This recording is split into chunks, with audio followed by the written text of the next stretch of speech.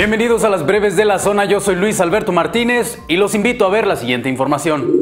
La bancada de Morena en el Senado presentará un punto de acuerdo para que se desaparezcan los poderes en el estado de Guanajuato. El punto fue inscrito por el coordinador de la bancada Ricardo Monreal. El argumento para pedir la desaparición de los poderes es que desde hace cinco años se vive una grave crisis de inseguridad.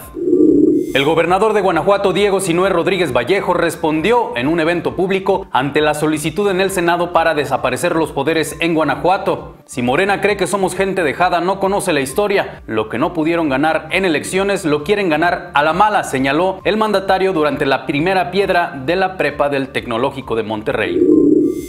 Tras la propuesta de eliminación de poderes en Guanajuato, el Partido Acción Nacional salió a la defensa del gobernador Diego Sinué mediante una campaña en redes sociales con el hashtag Yo estoy con mi gobernador, la cual se volvió tendencia.